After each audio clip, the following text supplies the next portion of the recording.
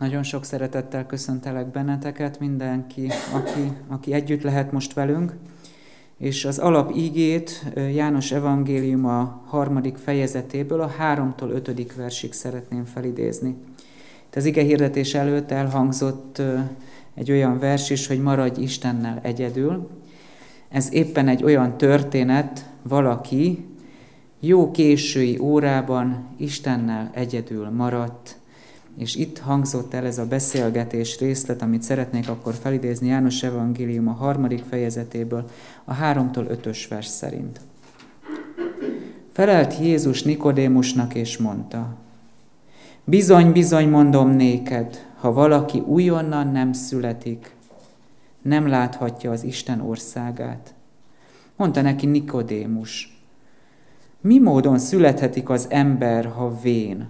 Vajon bemehet-e az ő anyjának méhébe másodszor, és születhetik-e? Felelt Jézus. Bizony, bizony, mondom néked, ha valaki nem születik víztől és lélektől, nem mehet be az Isten országába. Ezt az igét sok, alap, sok igehirdetés alapjául is lehetne választani, én a keresztények küldetés sorozatnak az ötödik témájául választottam ezt, magát az újjászületés. Nem lehet úgy valakit segíteni az újjászületés irányába utat mutatni, hogy magunk nem ismerjük, mit jelent az, hogy újjászületés. Azután ez egy olyan kifejezés, ami hasonlít egy kicsit a fizikai általunk jól ismert ö, eseményre, magára a születésre.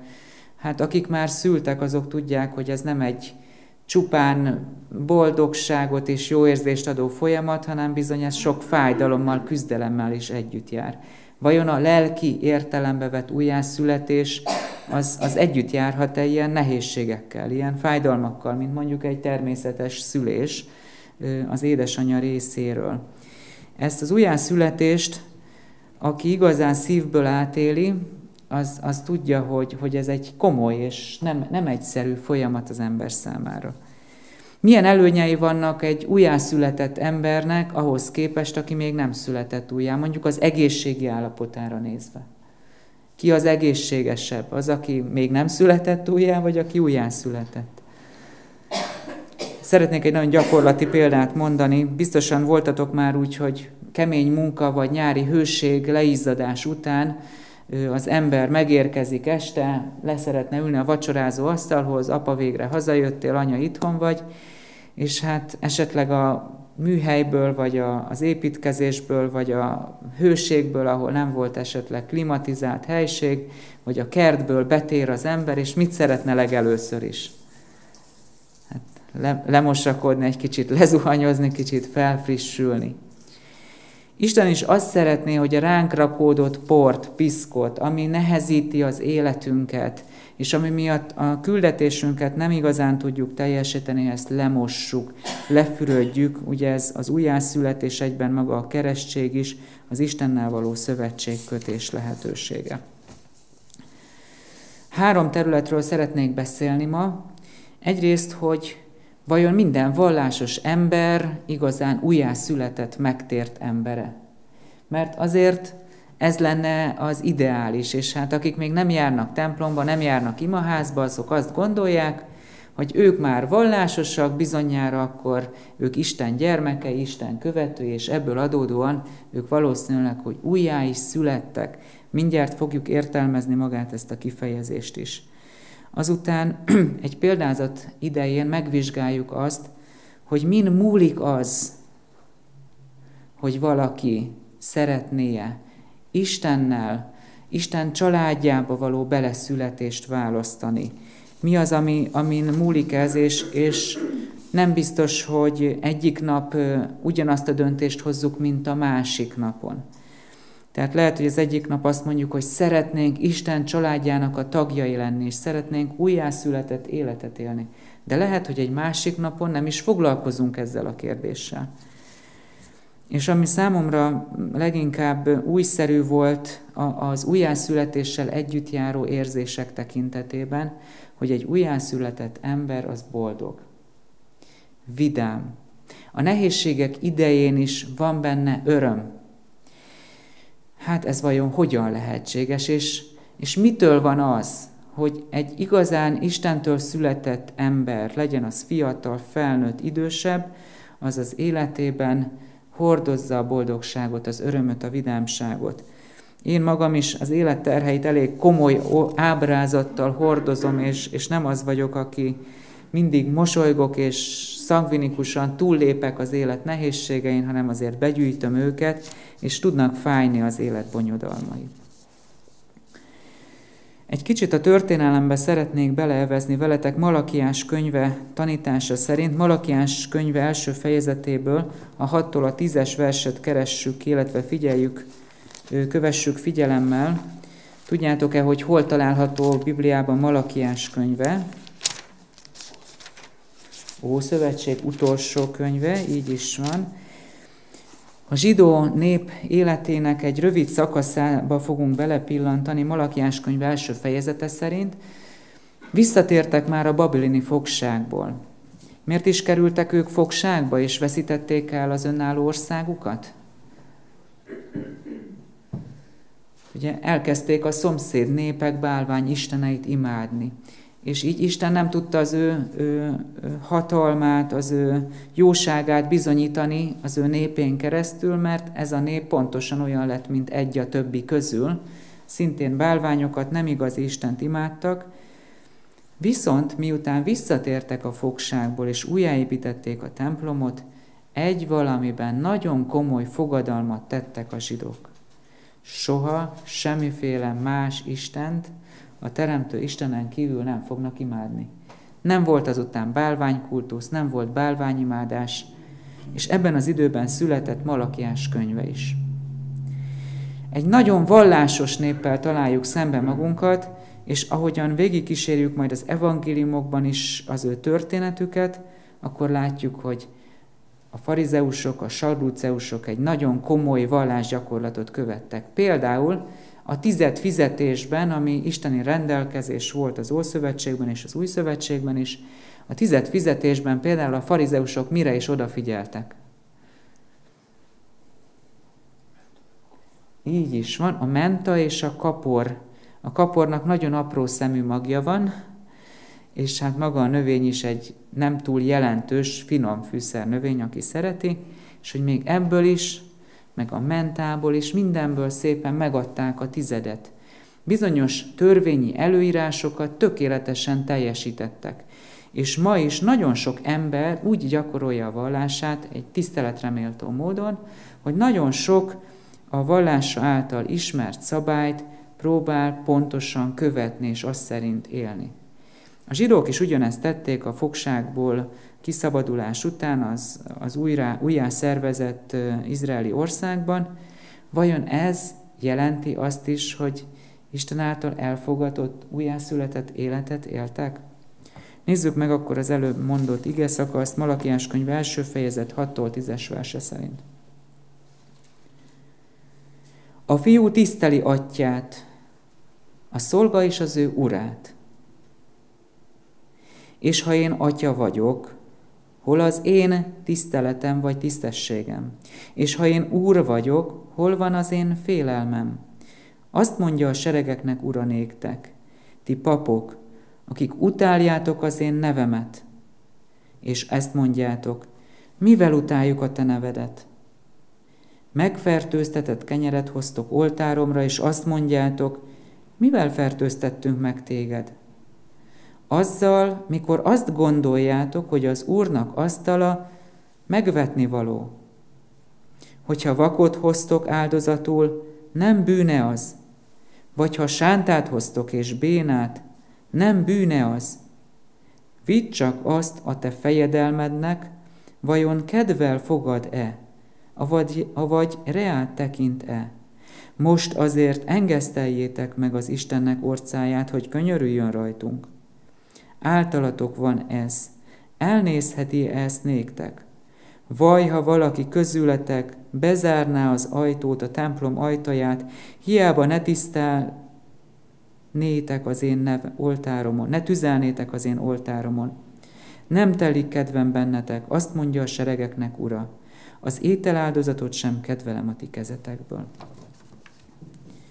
Egy nagyon vallásos népről olvasunk itt, és engem is, bármelyikünket fenyegethet az, hogy van egy vallásunk, van egy hitrendszerünk, és próbáljuk annak megfeleltetni az életünket. De nem biztos, hogy ez kedves Isten előtt. Itt nagyon nagy nézetkülönbség volt a nép és az Isten látásmódja között. A nép azt mondta, hogy mi tiszteljük az Istent. Mi szeretjük az Istent. Isten azt mondta a papoknak, hogy utáltok engem. Például. Vagy nem, nem vagyok elégedett az életetekkel, és az egyik nagyon érdekes, és ez, en, csak ezt a pici dolgot emelem ki, az Istennek jó a sánta, a vak, az Istennek jó az is, ami csak olyan maradék, ami csak úgy a végéből való. És a vallásos életformából az a veszély fenyegethet bennünket, hogy Istennek nem a legjobbat adjuk az életünkből, hanem azt, ami éppen marad neki. A zsidók is a jót elhasználták a saját üzletelésükhöz, a kereskedelemhez, ugye ők mindig is jó kereskedő nép voltak, a saját anyagi előrejutásukra, és hát ami marad, hát az jó lesz az Istennek is. Jó lesz a, a tizednek, jó lesz az áldoznivalónak. Ez egy felkiáltó jel. Itt nem beszélhetünk arról, hogy az ember újjászületett állapotban van. Ha Istennek csak azt adom, ami marad a fáradtságom, a munkám, a feladataim után, abban az esetben Isten ezt nem tudja elfogadni, ennek nem tud örülni. Hát akkor mit jelent az, hogy újjászületek? Ha vallásos élet az kevés ahhoz, hogy én újjászületett ember legyek. Nikodémustól idéztük ezt az ige szakaszt, Nikodémus jó vallásos ember volt, de mégis érezte, hogy valami hiányzik az életéből. Így térjünk rá a második gondolatra, egy példázatot szeretnék felidézni, Lukács evangélium a 19. fejezetéből. Kétszer található ez a példázata meg a Bibliában.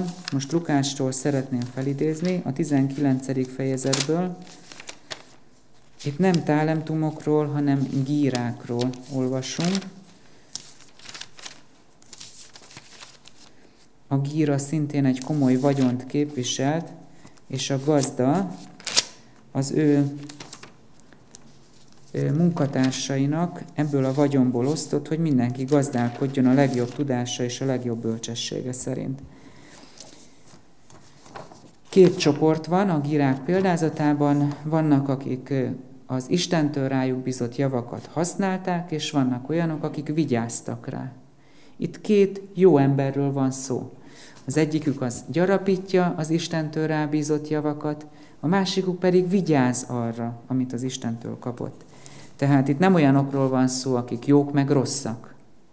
Itt olyan emberekről van szó, akik már valamiféle kapcsolatban vannak Istennel.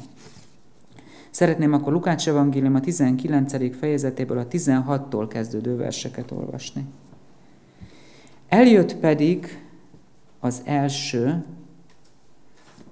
mondván, Uram, a te gírád tíz gírát nyert.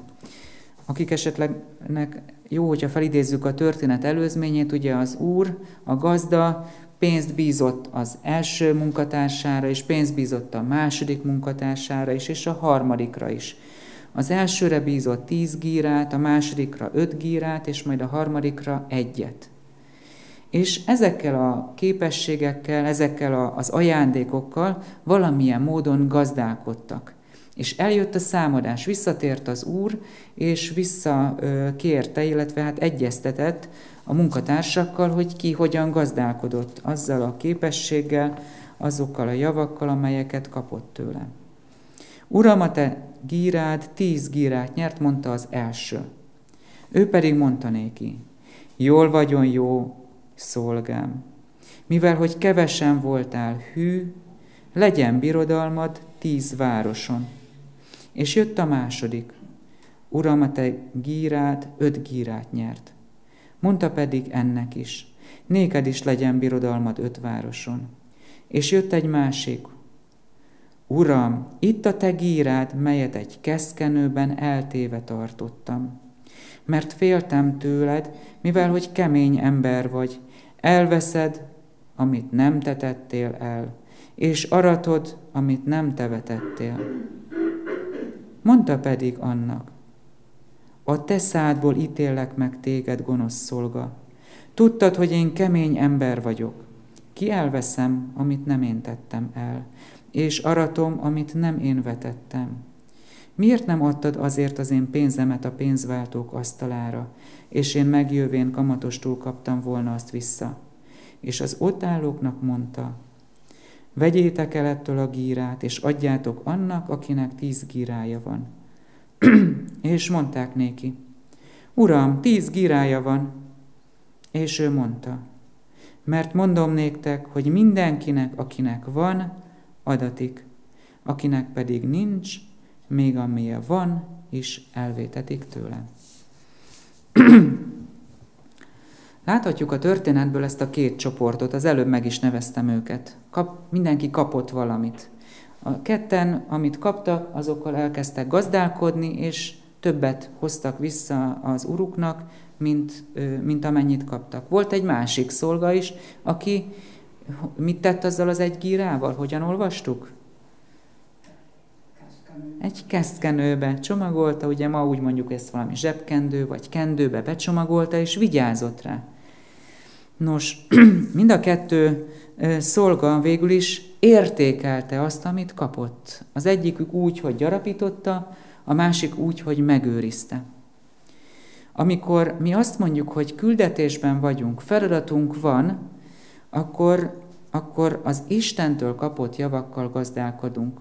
A gírák, ugye, sokan ismerjük ezt a példázatot, jelentik a képességeket, jelentik az időt, jelenthetik az egészséget, jelenthetik a szellemi képességeinket, a fizikai képességeinket, a lelki képességeinket, tehát mind azt, amit mások áldására legyen az a családunk, a gyermekeink, az unokáink, a munkatársunk, a szomszédunk áldására tudunk fordítani.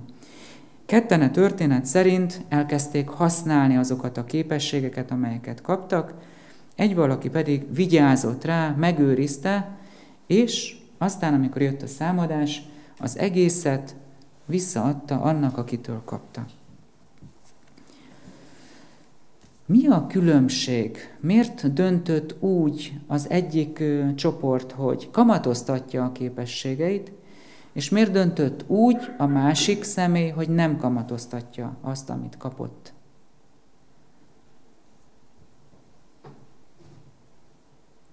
Mert hogy ezen a döntésen múlik, és ez az újjászületés döntése.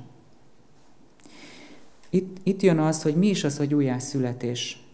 Kapunk az Istentől napsugarat, levegőt, vizet, ennivalót, barátokat jó esetben magunk körül, jó esetben házastársat, küzdőtársakat, hittestvéreket, rokonokat, munkatársakat, nagyon sok mindent kapunk az életben. Talán van olyan, akinek itt autója is van, havi fizetése, valamennyi egészségünk is van mindannyiunknak, tehát valamit kapunk az Istentől. És ezt nem mondhatja, ezt mindenki mondhatja, hogy valamit kaptam az Istentől. Van, aki többet, van, aki kevesebbet. Ezt az Isten dönti el. Ez az ő hatásköre. És itt felmerül egy kérdés. Mi azok, azt a döntést hozzuk meg, hogy kamatoztatjuk azt, amit kaptunk az Istentől, vagy pedig azt a döntést hozzuk meg, hogy vigyázzunk rá, és ha majd jön Isten, akkor visszaadjuk neki. Min múlik az, hogy egy ember az Istennel kapcsolatban ö, kamatoztató életet él, vagy pedig őrző életet él. Én vigyázok arra, én itt vagyok az imaházban, én olvasom az igét, és ez jó nekem, de bizonyságot már kevésbé teszek, vagy nem olyan fontos ez a kérdés számomra. Olvassuk el még egyszer a válaszát az egytálemtumos, vagy az egyírás szolgának. Azt mondja itt, Uram, a te gírád, amelyet keszkenőmben eltéve tartottam, itt van. Mert féltem tőled, mivel hogy kemény ember vagy. Elveszed, amit nem tetettél el, és aratod, amit nem tevetettél. Mondta pedig annak, a te szádból ítéllek meg téged, gonosz szolga. Csak ennyit szeretnék idézni. Valakik, akik használták az Istentől kapott képességeket, és valaki, aki nem. Miből indult ki az, hogy ő nem kezdte el használni az Istentől kapott képességét? Mi volt ez az érzés? Így kezdődik, féltem. Mert féltem tőled. Hát ki az, aki nem fél az Istentől? Még, még ilyen ige szakasz is van, hogy az Isten félelem a bölcsesség kezdete. Ugye más dolog azért az a fajta Isten félelem, ami, ami egy tisztelettel vegyes félelem és tartás, de itt azt mondja ez a szolga, hogy féltem tőled. Hát eddig még olyan sok rosszat én nem látok azért benne, mivel, hogy kemény ember vagy.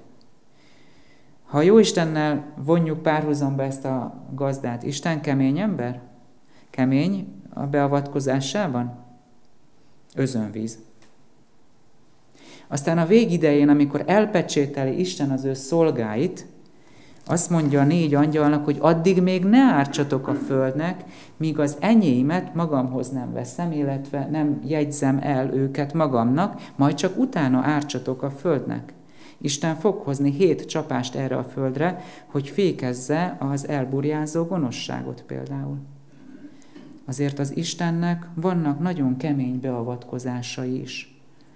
Ez olyan, mint amikor egy orvos is a műtét idején nem teheti azt meg, hogy megcirogatja a kiműtendő sebet, daganatot, ott bizony a szikét fogni kell, fel kell tárni a sebet, ki kell műteni a daganatot, össze kell varni, adni kell gyógyszereket a, a betegnek. Tehát azt mondom, hogy igen, tudhatjuk azt, hogy Isten szigorú. Isten nem, Istennek nem csak olyan arca van, hogy ő semmi probléma, szabad hibázni, csak gyónjuk meg, csak bánjuk meg, aztán nem baj, ha újra hibázunk. Istennek másmilyen arca van. Ő felelősséget vár el tőlem, és mindannyiunktól is. Olvasnám tovább ennek a gonosz szolgának a vallomását. Elveszed, amit nem tetettél el, és aratod, amit nem tevetettél. Nos, ennek hány százalék az igazság tartalma? Itt megérkeztünk a szemenszeret hazugsághoz. Mi az, amit az ember magától tud létrehozni? Egyetlen egy élő sejtet nem tudnak létrehozni a mai tudományos világban. Pedig már nagyon sokat tud az emberiség. Már el tud menni a holdra, lassan a marsra, állatokban már csippeket tudunk beültetni, nyomon tudjuk követni a gépkocsikat, a lopott autókat, ha bárhol akarjuk mindent meg tudunk figyelni, több tíz kilométer magasságból, ami ezen a Földön történik. Nagyon nagy teljesítményekre képes az emberiség, de semmit nem tudunk magunktól. Ha a Föld nem adja meg a termését, ha a nap nem süt, ha nem esik a csapadék, ha nem adja a Föld a termőerejét, minden elszárad, minden elpusztul. Minden, ami van ezen a Földön, az Isten munkája, az Isten kegyelmének a munkája. Tehát itt ez a dolog már szemenszeret hazugság, hogy ott is aradsz, ahol nem vetettél, és ott is gyűjtesz, ahol te nem tettél semmit. Akkor látjuk, hogy van egy olyan csoport, aki Istenről rosszat akar feltételezni. Ezek az emberek soha Isten családjához nem akarnak és nem fognak tartozni. Az újjászületés átbillenése, amikor az ember vágyik az Istennel való kapcsolatra, vágy születik benne arra, hogy az Isten jó, hogy az én, én az Istentől ezt is, ezt is, ezt is, ezt is, ezt is kaptam. És felismeri az ember azt, hogy mennyi mindenért lehet hálás az Istennek, itt hoz egy döntést. És ezt a döntést nevezzük újjászületésnek hogy én akarok ehhez az Istenhez tartozni. A gonosz szolga azt mondta, én nem, amit az Istentől kaptam, én nagyon vigyázok rá, és inkább visszaadom neki, majd én megdolgozom azért, ami az enyém. Nekem nem kell ajándék, nekem nem kell kegyelem. Én elég jó vagyok így is. És ma nagyon sokan mondják ezen a földön azt, hogy én nekem nincsen szükségem Istenre. Nekem nincsen szükségem bűnbocsánatra. Nem gyilkoltam én, nem loptam, nem csalok, nem hazudok. És van egy másik csoport, aki felismeri azt, hogy vannak hibái, bűnei, és felismeri azt, hogy a mindennapi kenyere is az Istentől áradó kegyelem. A meglévő egészsége, a családja, a barátai, mind-mind az Istentől kapott ajándék és kegyelem. Ha én ezt felismerem, és ehhez az isteni családhoz szeretnék tartozni, akkor hozok egy döntést. És ez a döntés lesz az újjászületés, a megtérés az ember életében. És az Istenről való jót feltételezés az az alapja annak, hogy mi lelkileg lényegesen egészségesebb emberekké válhatunk. A záró gondolatok fognak következni, én szeretnék az idővel úgy gazdálkodni, hogy ezt egy kicsit folytassam. Efézusi levél második fejezetéből következik egy szakasz, ami az Istenről való jót feltételezést erősíti meg bennünk, és ennek a gondolatsornak az lesz a címe, hogy életöröm. Egy-két tapasztalatot megosztanék veletek. Talán ismeritek azt az ige szakaszt, hogy mindenkor örüljetek. Ismét mondom. Örüljetek az Úrban, ismét mondom, mindenkor örüljetek. Hát, amint az ige hirdetés ellen is mondtam, én nem vagyok az a mindig mosolygós ember. Én, én sokszor a, a megérkező felelősségeket hordozom, és ebből adódóan ez néha az arcomra is kiül. És, és azon gondolkodtam, hogy aki igazán megtért és újjászületett ember, az tud örülni. De most az a kérdés, hogy minek? Mi, miért örüljön az, aki megtért, aki újjászületett ember, és mitől lesz ő boldog az életében? Majd olvassuk mindjárt az Efézusi Levél második fejezet 1-től 9-es versét is, de a két tapasztalat, amit szeretnék megosztani veletek, az mind a kettő mostanában történt velem, egy 10.000 forintosról szól a történet, és kaptam valakitől ezt a pénzt, aki visszaadta ezt a kölcsönt nekem, és hát egy biztos helyre eltettem ide a kabátomnak a belső zsebébe, és hát gondoltam, hogy ott az egy biztonságos hely lesz, és este, hogy fekszem le, és eszembe jutott, hogy ezt a pénzt át kellene rakni a pénztárcámba, akkor nem találtam sehol. És törtem a fejem, hogy hol lehet, mi történhetett vele. Nagyon spórolós ember vagyok, és, és hát van egy jó Istenem is, és ennyire szerencsétlen vagyok, hogy a visszakapott pénzt így elszórom. Legalább adtam volna oda egy nyomorult embernek, akivel segítettem volna vele, de hogy úgy elszórom, hogy azt se tudom, hogy hol van, hát ez nagyon-nagyon bosszantott. Este volt, le kellett feküdni idő, időbe, ne legyek kimerült, fáradt, és jártam össze-vissza, mondtam is feleségemnek, hogy most feszült vagyok, és gyomorgörcsös vagyok, és, és ne haragudjon, nem, nincsen vele semmi problémám, most ez a lelki terhem. És úgy letérdeltem még este az ágynál, fohászkodtam, és Isten azt mondta, hogy tedd le ennek a terhét, tedd le, tedd le, tedd le. És hát, hogyha én megtért és újjászületett ember vagyok, akkor nekem nem lehet őrizgetnem sokáig ezt a bajt és ezt a lelki terhet és nehézséget. Bár apróság azért más sokkal nagyobb vesztességért. És képzeljétek el, ahogy így imádkoztam, elvette a Jóisten tőlem ennek a terhét, és el tudtam gyorsan aludni, és nagyon kipihenten ébredtem föl. Annyira kipihenten ébredtem föl, ahogy elkezdtem a reggeli teendőket a család körül, a gyermekekért tenni, akkor eszembe jutott, hogy én ide még beraktam egy csomó apróságot, sütőport, illetve vaníliás cukrot, élesztőt, és én azt egybe megfogtam és eltettem a helyére, és ahogy mentem oda, ott volt közöttük a tízezer forintos is. És hogy, és hogy úgy letenni bizonyos terheket, hogy majd a Jóisten megoldja ezt, és majd, majd ő segítségünkre tud lenni. Tegnap este volt egy másik eset, megengedtük az egyik gyermekünknek, hogy egy kulturális programon vegyen részt, és késő este 11 óra körül érkezett haza a barátjával, és írtam nekik egy SMS-t, hogy ha hazaérkeznek, akkor nyugodtan csörgessenek meg, majd nyitok ajtót, és közben a vendégünknek is befűtöttük a kis vendégházrészt, hogy akkor ott ő el tud lenni, és mindent igyekeztünk körbe párnázni, és azt a kérdést kaptam, hogy ez meg most mi volt. És egyből ilyen leforrázva éreztem magam, hogy egy csomó mindent tettünk értük, de hogy én miért zártam be az ajtót, és miért nem jöhettek be ők akkor, amikor éppen akarnak. És nem tudom, hogy jártatok-e úgy ennek a, a hátterét, hogy elmondjam, hogy valamit jól akartatok tenni, valakiért szolgáltatok, segítettetek, és, és az nem a hálát mondtál, hogy milyen hálásak vagyunk ezért, meg ezért, meg ezért, hanem keresett két hibapontot, és az szépen odavágta a fejetekhez. Tessék jól érezni magatokat, mert keresztények vagyunk, nem? Mert újjászületett emberek vagyunk. Mi akkor egy újjászületett ember örömének a forrása?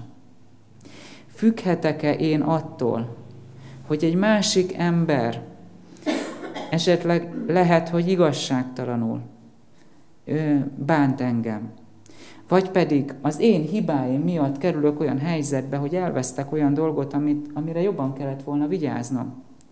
És akkor ezek most teljesen ki kell lendítsenek engem a lelki békénből és egyensúlyomból. Hát ettől még sokkal nagyobb dolgok is érhetnek bennünket, sokkal nagyobb problémák is. Szeretném felidézni nektek akkor a többször idézett vagy említett ige szakaszt, Efézusi levél második fejezet első kilenc verse szerint.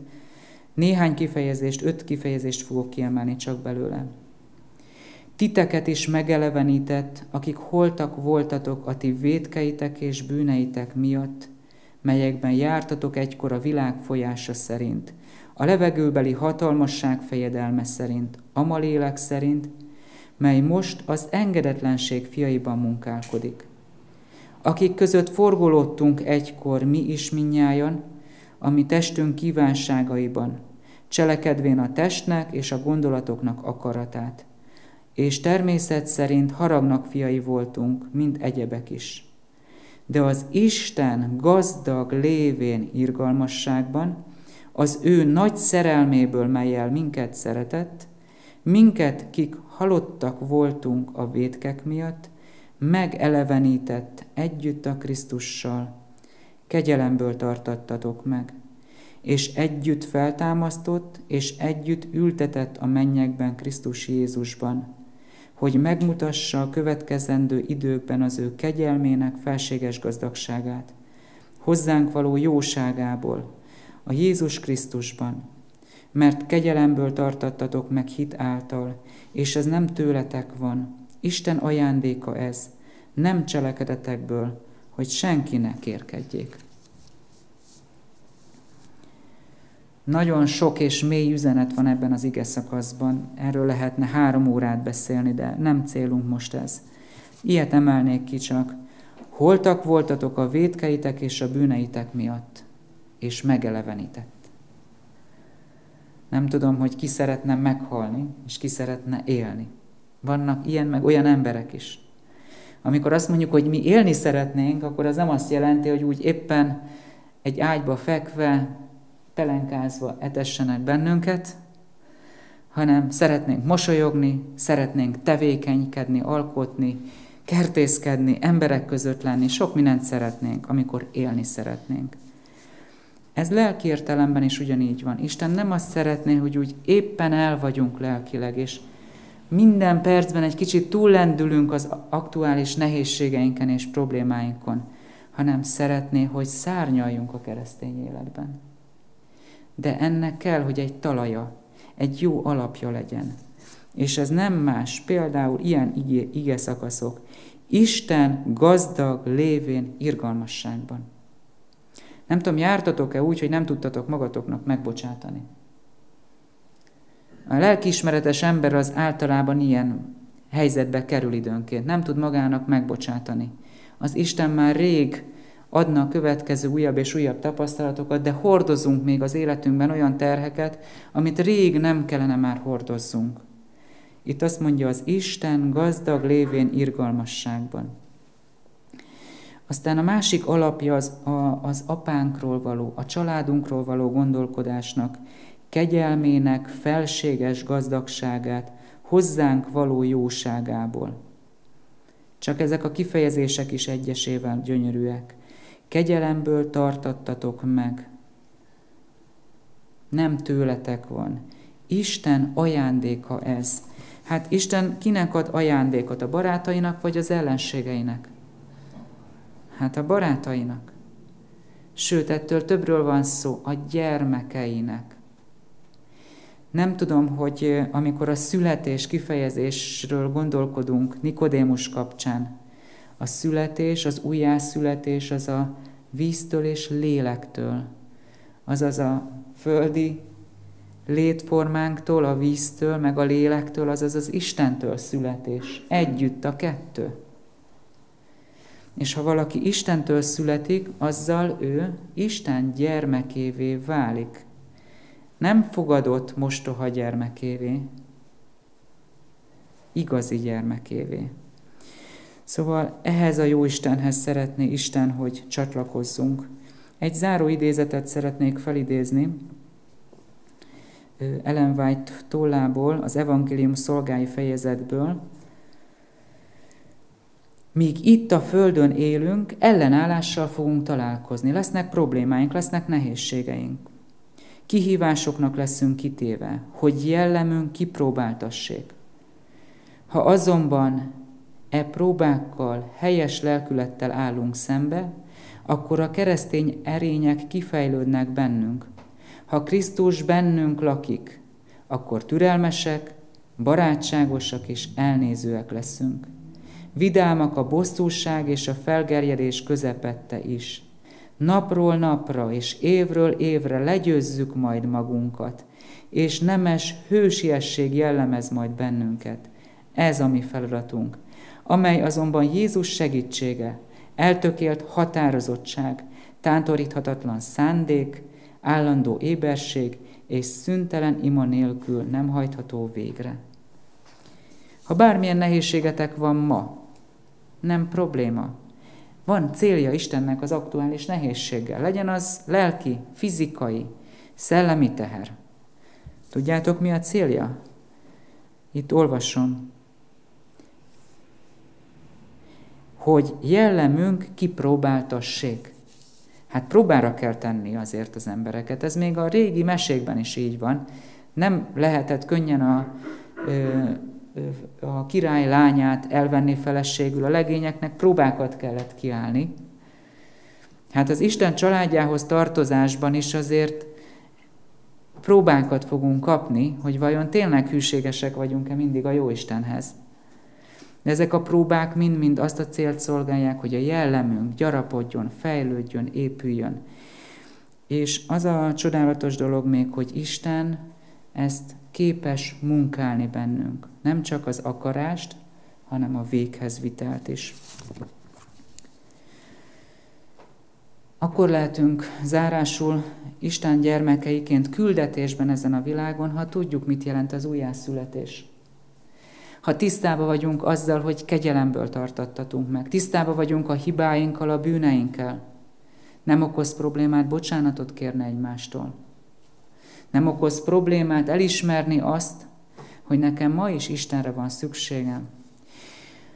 Aztán az is szükséges az újjászületéshez, és mércéje is egyben, hogy én az Isten családjától függök-e, olyan értelemben, hogy én azért tudok lelkileg kiegyensúlyozott életet élni, mert Isten végtelen irgalmassággal, szeretettel, szerelemmel, még ilyen szó is van, vesz körül engem. Az Isten annyira szeret engem, hogy sokkal jobban, mint én bármelyik gyerekemet. Biztos, hogy akik szülők és jó gyermekeik vannak, néha úgy átfutja az a forróság, az az ölelő szeretet őket, hogy mennyire szeretem én a gyermekemet. Hát ez a fajta szeretet az Isten rátok való gondolásához képest töredékes, semmi. Az Isten annyira gondoskodott az ő vele való kapcsolat lehetőségéről, hogy képes volt Jézus Krisztus is elküldeni, és az ő életét is értünk odaáldozni, hogy hozzunk döntést, hogy én újra, újjá akarok születni, én újra Isten gyermeke szeretnék lenni, én újra az Isten családjához akarok tartozni. És hogyha ezt a döntést meghozzuk, ha meghozzátok nap mint nap a reggeli imádságotokban, akkor kevésbé fognak bántani a saját hibáitok miatti vesztességek, a mások bántásai, mert tudjátok, hogy én Isten családjának a tagja vagyok, és hát ezért is lehet reménységünk az üdvösségben és abban, hogy az örök életet Isten számunkra is elkészíti. Adassék meg ez a reménység mindannyiunk számára. Amen.